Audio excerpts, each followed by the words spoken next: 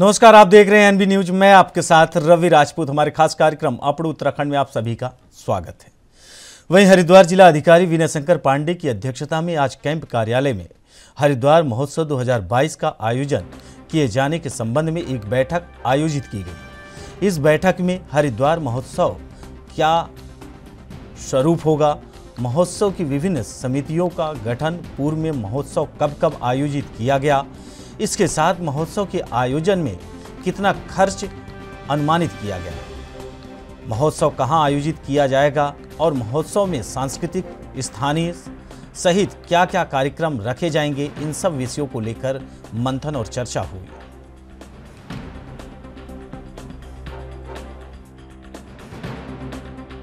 देखिए हरिद्वार जो हमारा ज़िला है और जो हरिद्वार शहर है, आपको जानकारी है कि ये देश में नहीं, पूरा अंतर्राष्ट्रीय स्तर का ये स्थान है। और मुझे ये जानकारी मिली कि पूर्व में नाइनटीन नाइन्टी नाइन में इसके बाद 2008-9 इसमें एक हरिद्वार महोत्सव का आयोजन।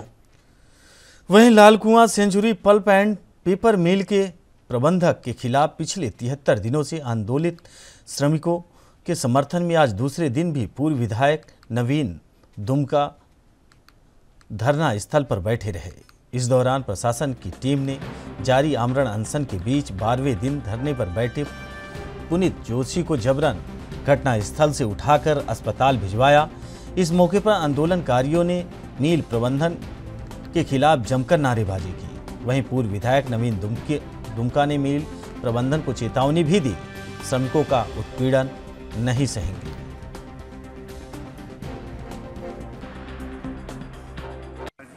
वैसे कृमि अनशन का तिहत्तर तिहत्तरवां दिन है और अनशन का भी बारहवां दिन है आज ये पाँचवें दिन जो है इन्होंने अभी जोशी को उठा लिया है। उसकी जाँच हुई थी। आंदोलन कृमिक भी चलता रहेगा आंदोलन भी चलता रहेगा। मैं भी कल भी यहाँ पर धरने में इनके समर्थन था, आज भी शाम को फिर तय करेंगे आगे क्या होता है। लेकिन हमारा कुल मिला के मानना यह है कि आंदोलन लंबा खींचे, जैसे भी हो, जहाँ भी हो, बहुत सारे संगठनों का सबका समर्थन मिल रहा है। हम इनको, इनके पक्ष में निर्णय तक पहुँचाएँगे। अब उसमें हमको जो भी लोकतांत्रिक तरीका अख्तियार करना पड़ेगा, कल बैठ के तय करेंगे। तो निश्चित रूप से इनको हम न्याय दिलाएँगे, ऐसा मेरा और यहाँ पर आने वाले सभी जो जितने जनप्रतिनिधि आ रहे हैं, उन सबका ऐसा मानना है कि हम सबको मिल करके ये आंदोलन भी ये लड़ाई भी लड़नी है और इस पर सेंचुरी की जो एक जिद वाला मामला है उस जिद के आगे अपनी जीत दर्ज करा लोग प्रशासन के लोग भी खुद ही बात कर रहे हैं और सामाजिक संगठन और दूसरे लोग भी बात कर रहे हैं। संभवतः कल मुझे एक मैसेज मिल रहा कि इसके जो मिस्टर कॉल है वो बाहर है।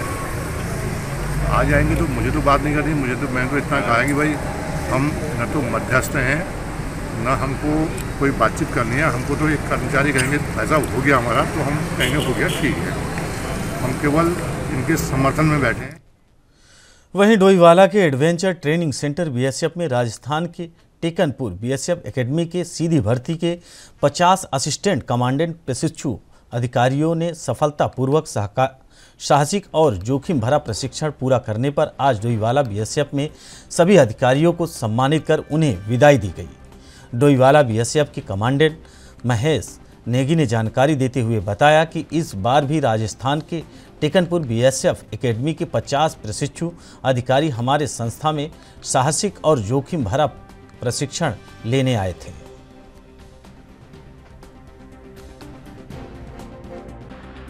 आपको मुझे बताते हुए काफ़ी खुशी और हर्ष है कि पिछले एक वीक से हमारे पास, हमारे A C D direct entry जो डायरेक्ट भर्ती के ऑफिसर हैं, पचास जिनकी नफरी है, वो हमारे पास एडवेंचर ट्रेनिंग के लिए यहाँ पे एकेडमी से आए हैं। इस एडवेंचर ट्रेनिंग के दौरान इनको हाई एल्टीट्यूड में सर्वाइवल रेस्क्यू उसके साथ साथ बेसिक रॉक क्राफ्ट थोड़ी यूएवी की ट्रेनिंग उसके बाद एमटीबी और थोड़ी पैराग्लाइडिंग के बारे में भी जानकारी दी गई है। जिससे इनकी क्षमता इस तरह के एडवेंचर को करने की तथा डिजास्टर रिस्पॉन्स में भी इनकी रोल अदायगी में वहीं विरासत महोत्सव देहरादून के सबसे चर्चित और प्रतीक्षित फेस्ट में से एक है। ये स्थानीय लोगों के साथ साथ पर्यटकों के बीच भी काफ़ी लोकप्रिय है, क्योंकि विरासत हमारी रंगीन संस्कृति और परंपरा को दर्शाता है। और यही वजह है कि लोग इस महोत्सव का बेसब्री से इंतज़ार करते हैं। बता दें कि डॉक्टर भीमराव अंबेडकर स्टेडियम में आयोजित ये महोत्सव करीब 15 दिन तक चलता है, जिसमें प्रदर्शन और कार्यशालाएँ शामिल होती हैं। वहीं हर बार भारतीय शास्त्रीय संगीत के महापुरुष, नृत्य के उत्पाद और जाने माने शिल्पकार यहाँ प्रदर्शन करते हैं। ठीक इसी तरह इस बार भी विरासत आप सभी के बीच लौट आया है, जो 9 अक्टूबर से शुरू होने जा रहा है और यहाँ आपके पसंदीदा वडाली ब्रदर्स सहित कई कलाकार अपनी प्रस्तुति देते नज़र आएँगे।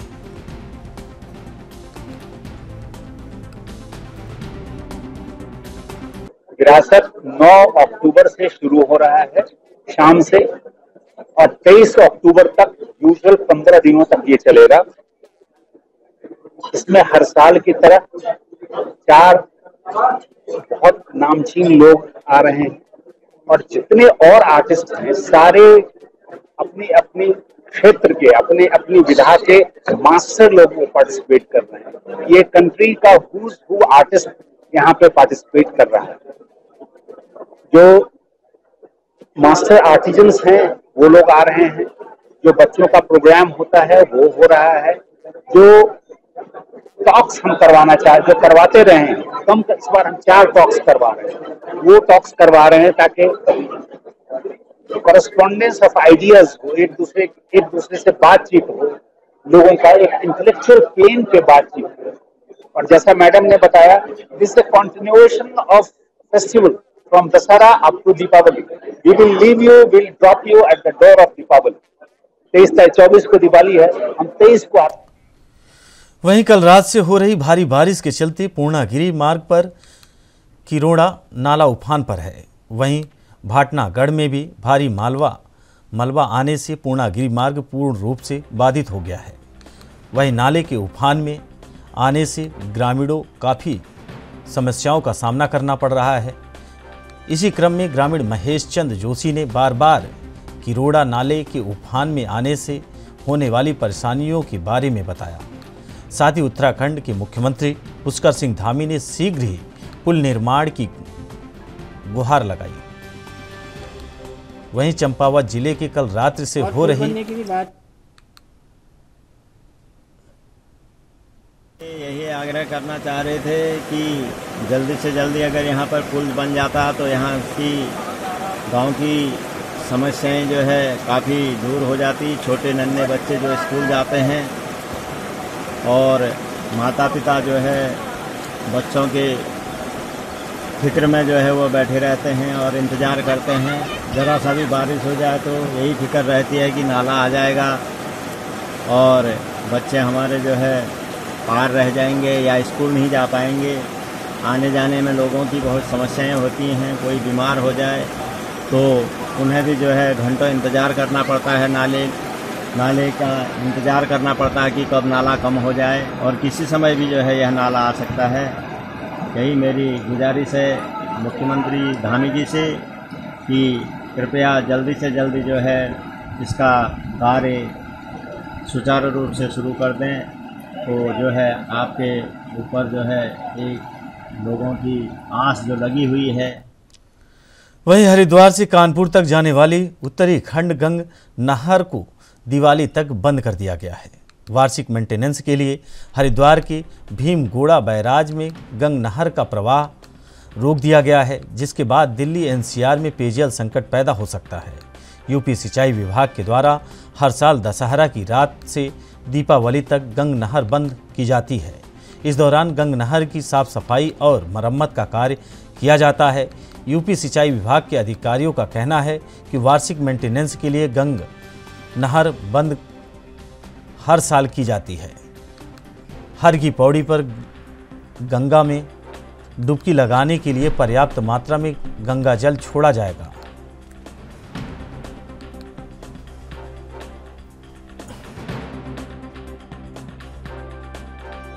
ये आज से बंद होकर के तेईस चौबीस यानी कि दीपावली की मध्य रात्रि को ही खोली जाएगी। इस बीच नहर में, इस पूरे गंगा संगठन में जितने फ़ील्ड सफ़ाई के संबंधित कार्य, पक्के कार्य, पुलों की मरम्मत और इस साफ़ सफ़ाई इसके लिए बंद की जाती है और ये प्रतिवर्ष की जाती है। उनसे कोऑर्डिनेशन रहता है हम लोगों का और वहाँ पर कुछ कार्य, आवश्यक कार्य करा करके एवरल धारा से सीधे पानी वहाँ प्रोवाइड प्रोवाइड कराया जाता है। वहीं लचीवाला रेंज के फतेहपुर बीट अंतर्गत जीवनवाला में खैर प्रजाति के बेशकीमती पेड़ कटने के कारण वन विभाग की नींद उड़ गई है। वहीं दो दिन पहले अंधेरे की आड़ में जीवनवाला से आठ हरे पेड़ काटे गए, जिनकी सूचना मिलते ही वन विभाग की टीम मौके पर पहुँची। तो वहीं वन विभाग की टीम को देख तस्कर भाग खड़े हुए, जिसकी तलाश में वन महकमा मुस्तैदी के साथ लगा हुआ है। इस संबंध में वन विभाग द्वारा तीन टीमें गठित की गई हैं और लकड़ी तस्करों को चिन्हित कर आरोपियों को पकड़ने का प्रयास किया जा रहा है।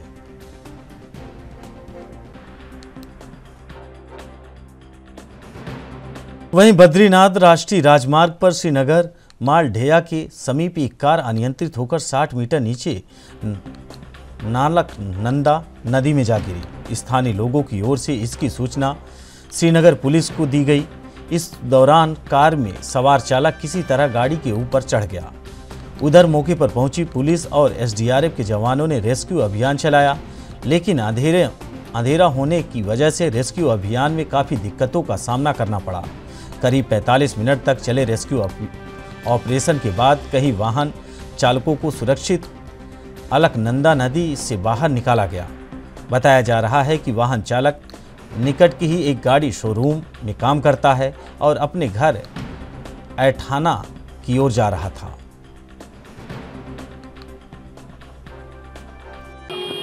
ये आठ बजे के आसपास की घटना है। यहाँ पे एक मो, मोड़ पे ये हुंडई शोरूम से आगे मोड़ पे ये गाड़ी गिरी है आई ट्वेंटी और इसमें एक गौरव मियाँ जिनकी लगभग बत्तीस वर्ष की है अकेले थे अठाणा के ग्राम अठाणा के हैं डांग अठाणा के और ये हुंडई के शोरूम में काम करता है। तो ये ऊपर से लगभग साठ मीटर के आसपास पचास साठ मीटर नीचे नदी में चली गई थी और उसको बचा लिया गया है और रेस्क्यू करके उसको एस डी आर एफ़ के द्वारा इसको हॉस्पिटल बचा लिया गया और इसको हॉस्पिटल भिजवाया गया। वहीं पिछले 22 अगस्त को झारखंड प्रदेश से कुछ पर्यटकों का एक दल रामनगर भ्रमण पर आया था।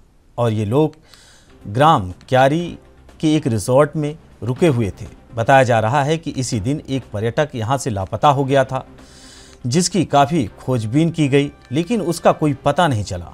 वहीं अब लापता हुए इस पर्यटक का कंकाल गुरुवार को शाम को कोतवाली पुलिस ने क्यारी क्षेत्र के जंगल से बरामद किया है। फ़िलहाल लापता कंकाल को पुलिस ने पोस्टमार्टम के लिए भेज दिया है। पौड़ी ज़िले के यमकेश्वर विधानसभा के गुम घड़ालू मोटर मार्ग पर एक मैक्स गाड़ी दुर्घटना का शिकार हो गई। गाड़ी में सवार दो लोगों में से एक की तो मौके पर ही मौत हो गई, जबकि दूसरे का इलाज जारी है। उधर इस हादसे के बाद प्रशासनिक अधिकारी मौके पर पहुँच गए और पूरे मामले की जाँच कर रहे हैं।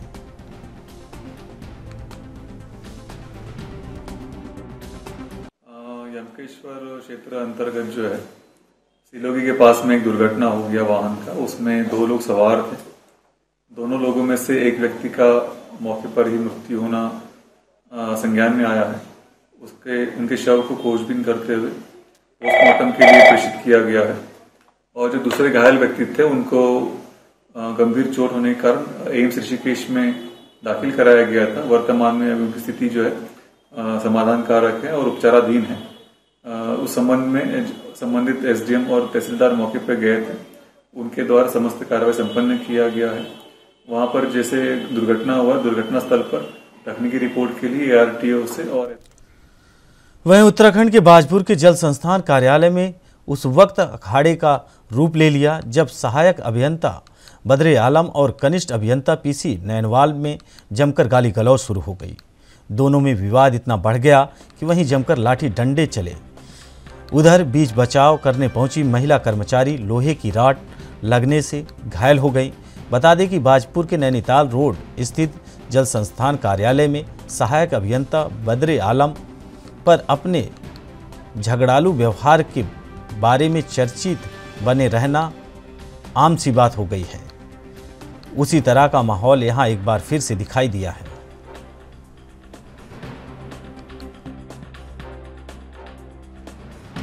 देखिए, एक अधिशासी अभियंता हैं इनके, जल संस्थान अभियान के श्री बदर आलम जी। इन्होंने एक अपने सहायक सबोनेट पे गाली गलौज और मारपीट के प्रयास के संबंध में एक एप्लीकेशन दी है। एक बार पुलिस गई थी मौके पे तो उसमें दूसरा पक्ष वहाँ नहीं मिला। इस प्रकरण की जाँच कर रहे हैं। वैसे ही इनका विभागीय मामला है कि वहीं उधम सिंह नगर में गुलदार का आतंक दिन प्रतिदिन बढ़ता ही जा रहा है। जिसका खामियाजा आमजन को भुगतना पड़ रहा है। नतीजा ये हुआ कि अभी तक गुलदार पालतू जानवरों को अपना शिकार बना रहा था, लेकिन अब ताज़ा मामला ने सभी को चौंका दिया है। बता दें कि गुलदार ने एक दस वर्षीय बच्ची को अपना निवाला बना लिया। उधर सूचना मिलने पर वन विभाग में हड़कम मच गया। फ़िलहाल परिजनों का रो रो कर बुरा हाल है। यहाँ पे करीब साढ़े सात बजे ये घटना गाँव वालों को पता चला। सारे गाँव वाले एकत्र होके ये फार्म, देवरा फार्म में, क्या कहते हैं, गन्ने में सारे गाँव वाले मिलके घुसे वहाँ पे। लड़की लापता हो गई तो बोले, कोई बोला कि कहाँ गई? कोई का, बोला, कहाँ गई? तो बोले, नहीं, गुलदार ने पकड़ा गया, शेर पकड़ लिया होगा, चीता पकड़ लिया होगा। उन्होंने सारे गाँव वालों ने एक बार गन्ने में घुसा सब, कोई डंडा ले लिया, कोई कुछ ले लिया। गए भाई, कुछ दूर तक ढूंढते ढूंढते करीब साढ़े आठ बजे उसकी बॉडी बॉडी डेड बॉडी मिली और सारे गाँव वालों की मदद से फिर उठा के फिर पुलिस प्रशासन को फिर जंगलात प्रशासन को सबको हम लोगों ने सूचना किया। सारे आए यहाँ पे फिर सुबह क्या कहते हैं अपने डिफो साहब भी आए थे और रेंजर साहब भी आए थे नानक मत्ता के क्या कहते हैं हमारे थाना प्रभारी। भी आए थे सारे आए विधायक जी भी आए और विधायक जी ने सी साहब भी आए। विधायक जी ने आश्वासन दिया कि हम आपको देंगे, कुछ ना कुछ देंगे। फिर से पूर्व प्रधान विधायक आए थे, प्रेम सिंह राणा जी भी। उनने बोला, हम पाँच लाख का चेक देंगे। और विधायक जी हमारे जंगलात विभाग वालों ने वहाँ लगा रखा है। ये पिंजरा भी लगा रखे हैं। बोले कि इसको हम चार पाँच दिन के अंदर पकड़ लेंगे। जब तक नहीं पकड़ेंगे, तब तक गाँव वाले क्या करें? दो चार साथ ही, साथ में घूमे और साथ में घूमे। और रेंजर साहब ने बोला कि रात को गश्त करेंगे जंगल विभाग वाले, रात को गश्त करेंगे। और जब तक ये काबू में नहीं आता है मादा जब तक ये मादा इसका नाम रख दिए गुलदार का जब तक ये कब्जे में नहीं आता है तब तक यहाँ पे जंग वन विभाग इसका देख रेख करेगी। जो अगर यहाँ गाँव के एक आध दो आदमी जाते हैं तो साथ में दो चार आदमी जाए अकेला कोई ना जाए। सर आनंदी था। और ग्राम चैतोखेड़ा में है।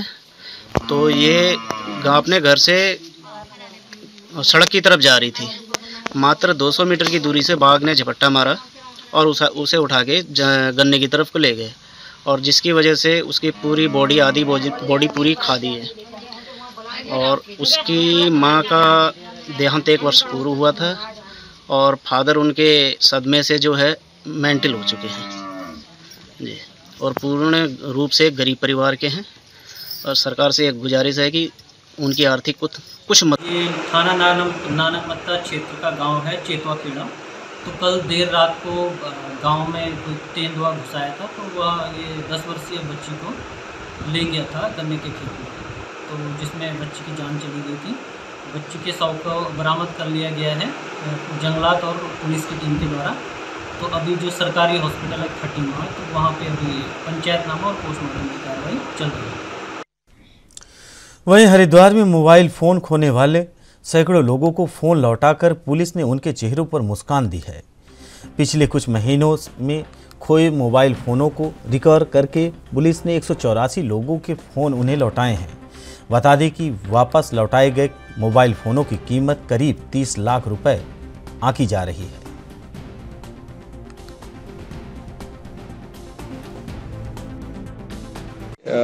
कई लोगों के मोबाइल समय समय पर खोते रहते हैं और पुलिस उनको रिकवर भी करती रहती है। तो इस बीच पिछले कुछ महीनों में जो मोबाइल्स रिकवर हुए थे, हमने आज एक साथ उनको, उनके जो ओनर्स हैं, ये प्लान किया कि उनको सौंपे जाएँ। और ये इसीलिए यहाँ पर कार्यक्रम किया गया था। कुल इस बीच एक सौ चौरासी मोबाइल्स बरामद हुए हैं, जिनकी मूल्य करीब 30 लाख रुपए के आसपास इनका मूल्य है। और इनमें कई ऐसे इनके ओनर्स हैं जो कि आज यहाँ पर उपस्थित थे। इनको ये मोबाइल्स दिए गए। और ये बड़ा अच्छा है कि इनके चेहरों पर एक खुशी मिली अपना मोबाइल वापस पाके। और जो बाकी मोबाइल्स भी हैं, ये हम धीरे धीरे इनके, जो मालिक हैं, इनको पहुँचा हैं ये अलग अलग समय की हैं ये। ये घटनाएँ काफ़ी अलग अलग समय पर हुई हैं, ऐसा नहीं कि, और ये लॉस्ट मोबाइल्स हैं ये। आमतौर पर खोए हुए मोबाइल्स हैं ये। ये एक तो चोरी के होते हैं, उसमें तो फिर बाकायदा मुकदमा कायम होता है, लेकिन लॉस्ट मोबाइल